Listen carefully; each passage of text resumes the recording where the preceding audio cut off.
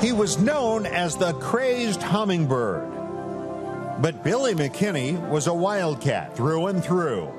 Those of us privileged to see Billy McKinney play saw a talented, high scoring ball of energy who made the players around him better. He was the embodiment of Northwestern. He came from Zion Benton Township High School to Evanston, intent on changing the history of Wildcat basketball. And undoubtedly, he did. Today is a special day in the history of Northwestern athletics. This honor, the first jersey retirement in the 173 year history of the university, has been earned by an extraordinary player and a remarkable human being. Before there was a shot clock, before there was a three point line, when there were 10 teams in the Big Ten, Billy McKinney was scoring an NU record 1,900 points, starting 98 consecutive games and leading the Wildcats to upsets over number seven Kentucky in the 1976 season, and a year later over number two Michigan. But those of us privileged to know Billy for half a century know a man who was much more than a college basketball and baseball player. A sixth round pick in the NBA draft, he would play nearly 500 games for five teams, including the Bulls, where he began a three decade career as an NBA executive and eventually answered the call to his hometown of Zion, where he was elected mayor in 2019. If you were there in Salt Lake City in 2017 when the Wildcats made their first trip to the NCAA tournament, you saw a proud Wildcat with tears in his eyes as he spoke to the players before that first game. As a player who was there that day recalled, his message was, now that we're here, let's win. And they did. And if you look carefully, you'll see the bond that's been established between Billy and today's team how much the players enjoy being around him and the respect they have for a man who helped lay the groundwork for the success they're enjoying today. Almost 40 years to the day that he last wore number 30 for the Wildcats. A living legend, Billy McKinney's love for Northwestern knows no bounds. And today, we return that love.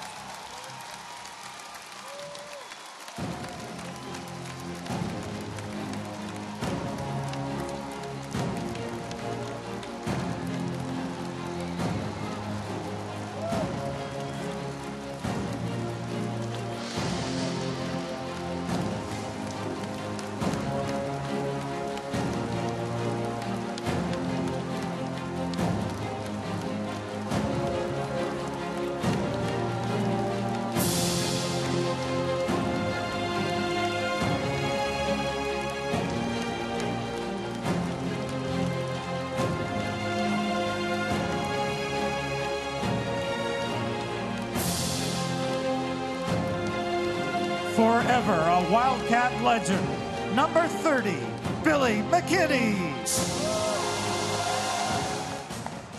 Well, I've got uh, two minutes to say something that I just lost $20 to one of my friends because I said I wasn't going to cry today. but how could I not?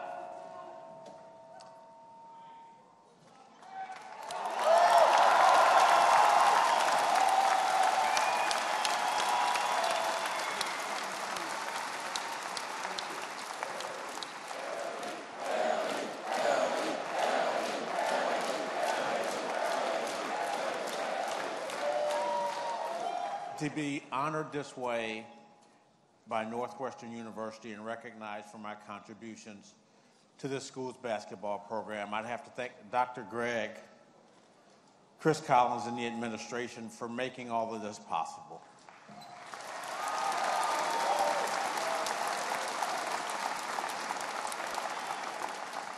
I'm so blessed to have a lot of my family members here today, high school coaches, college coaches, college teammates, players that played before me that set the path for me. Dan Davis, where are you? Rich Falk, Joe Ruklick, who is not here with us in body, but here in spirit. Jim Burns, the young man that I broke his scoring record, not here in body, but in spirit. Thank you for blazing a trail for me and showing me that good things were possible. I'd also like to thank Rich Falk, who recruited me here at Northwestern.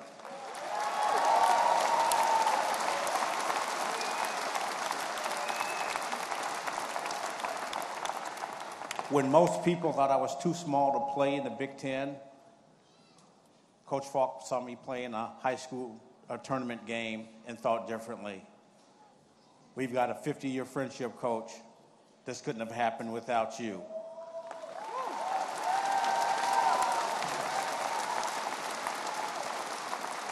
I also have to say that 60 years ago, today, on February 24th, Coach Falk scored 60 points against these Iowa Hawkeyes and still a school record.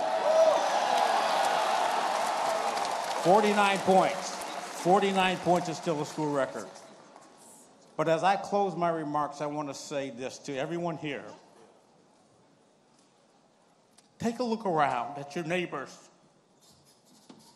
Look at the people next to you. What an art form does in terms of bringing people together. All races, creeds, colors, and nationalities. This is the United States of America.